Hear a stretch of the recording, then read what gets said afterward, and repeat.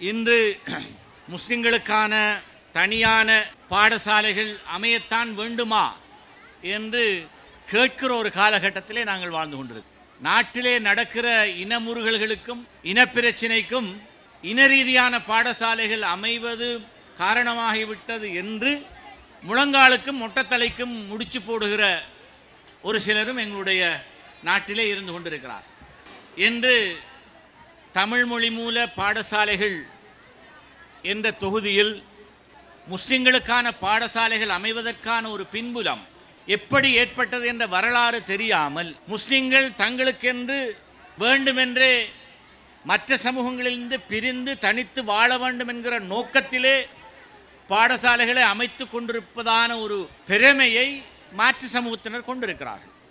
இதை பற்றிய விளக்கத்தை யாரும் கொடுப்பது கிடையாது. ஏன் இன ரீதியான பாடசாலைகள் தோற்றம் பெற்றன என்பதற்கு ஒரு வரலாறு இருக்கு இந்த நாட்டிலே ஆங்கிலேயர் ஆட்சி காலத்திலே உருவாக்கப்பட்ட பாடசாலைகளிலே கிறிஸ்தவ மதம் முன்னிலைப்படுத்தப்பட்டது என்கிற ஒரு பின்னணியிலே இந்துக்கள் மத்தியில் மறுமலர்ச்சி இயக்கம் என்றும் பௌத்தர்கள் மத்தியில் மறுமலர்ச்சி இயக்கம் என்றும் வெவ்வேறாக தங்களுடைய சமய விழுமியங்களை விட்டு மாணவர்கள் கிறிஸ்தவ பாடசாலைகளிலே மாறிவிடக்கூடாது என்பதற்கான தனியான பாடசாலை தொகுதிகள் அமைய பெற்றன என்பது வரலாறு.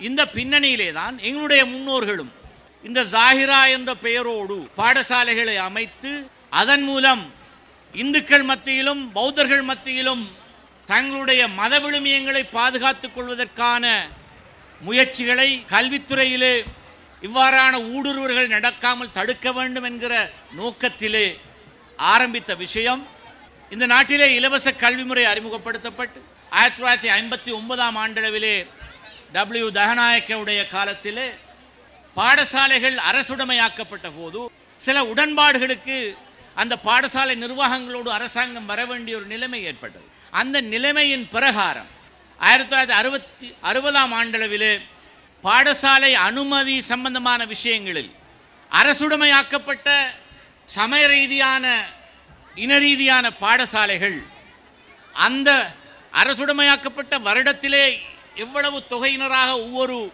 இனத்தைச் சேர்ந்த மாணவர்களும் அந்த பாடசாலையில் கல்வி கற்றார்களோ அதே விகிதாசாரத்திலே பாடசாலையில் அனுமதி இடம்பெற வேண்டும் என்கிற ஒரு நியதியை கொண்டு வந்தார்கள்.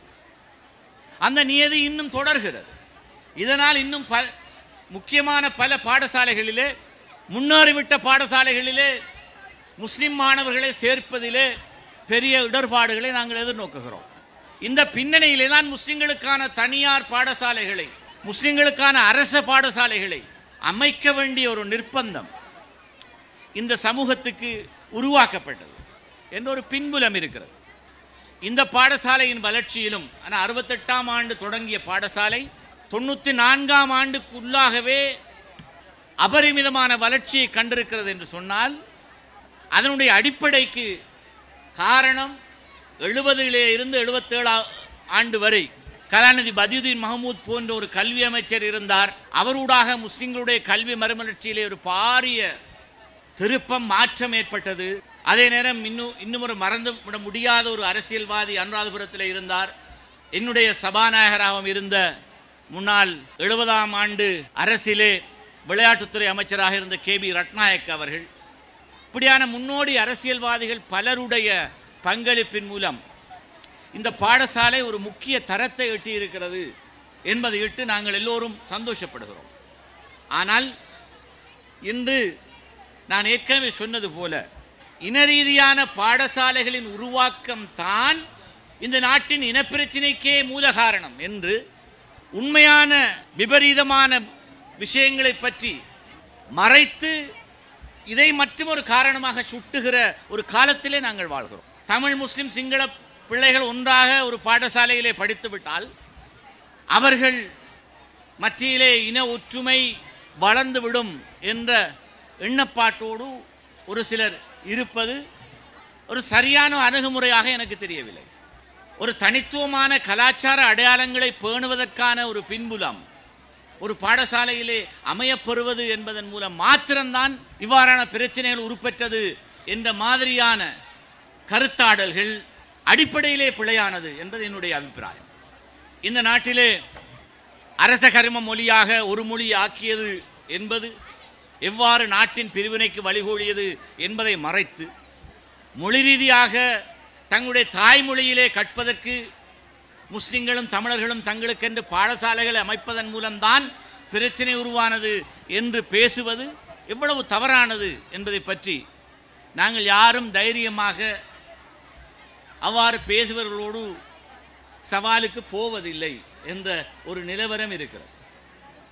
இன்று திருகோணமலையிலே ஒரு தமிழ் பாடசாலையிலே அபாய அணிந்து போக முடியாது என்ற ஒரு ஒரு குழப்பத்தை ஒரு குழு ஏற்படுத்தி இருக்கிறது அது ஒரு பெரிய பாரிய பிரச்சனையாக உருவெடுத்து கொண்டு வருகிற ஒரு சூழலிலே இவ்வாறான பிரச்சனைகளை மாத்திரம் வைத்து ஒவ்வொரு பாடசாலையிலும் தங்களுடைய அடையாளம் கலாச்சாரம் குறித்த விஷயங்களிலே ஒரு நெகிழ்வு போக்கோடு நடக்காத நிர்வாகங்களின் மீது தாக்கம் செலுத்த முடியாத ஒரு கல்வி முறைமையின் கீழ் நாங்கள் பயிற்றுவிக்கப்படுகிறோமா என்பதை பற்றி சிந்திக்க முடியாத அளவிற்கு அரசியல் தலைமைகள் இருக்கிறதா என்ற ஒரு துர்ப்பாக்கியமான விஷயத்தையும் நாங்கள் பேசித்தான் ஆக வேண்டும். சில இடங்களிலே கலவரங்கள் நடந்ததற்காக மாணவர்களின் சமூக வலைத்தள தொடர்பாடுகள் தான் காரணம் என்று பிரச்சனையே குறுக்கிவிட முடியாது. என்றால் இதையெல்லாம் இன்னும் பொறுப்புணர்ச்சியோடு பார்க்க வேண்டிய கடமைப்பாடு எங்களில் ஒரு எங்கு பிரச்சனை இருக்கிறது என்று பார்த்தால் வெறுப்பூட்டக்கூடிய பேச்சை பேசுகிற யாராக இருந்தாலும் சரி அவர்களை தகுதி தராதரம் பார்க்காமல் தண்டிக்க வேண்டும். அவர்கள் மத ரீதியான மத தலைவர்களாக இருந்தாலும் சட்டத்தின் முன் எல்லோரும் சமன் என்கிற நிலைப்பாட்டிலே எல்லோரும் குற்றவியல் தண்டனை சட்டக்கோவையின் கீழ் தண்டிக்கப்பட வேண்டிய ஒரு பின்புலத்தை உருவாக்குவதன் மூலம் மாத்திரம்தான் இவ்வாறான பிரச்சனைகளுக்கான நிரந்தர தீர்வை நாங்கள் காண முடியும்.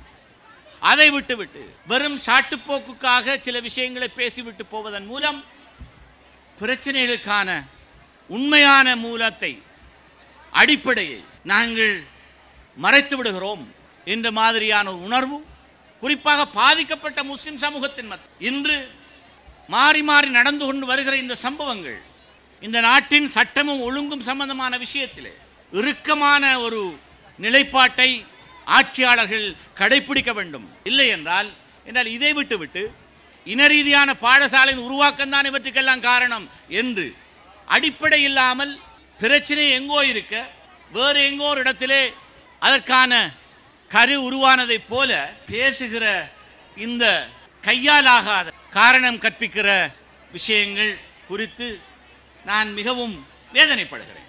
எனவே இந்த சூழலில் உங்களுக்கு மத்தியில் என்னால் சர்ச்சைக்குரிய விவகாரங்களை கூடுதலாக நான் பேசுவது அவ்வளவு ஏற்புடைய ஒரு விஷயமாக இருக்க மாட்டாது. இருந்தாலும் இன்றிருக்கிற சூழலில் இந்த விஷயங்கள் பேசப்பட்டே ஆக வேண்டிய ஒரு காலகட்டத்திலே நாங்கள் வாழ்ந்து கொண்டிருக்கிறோம்.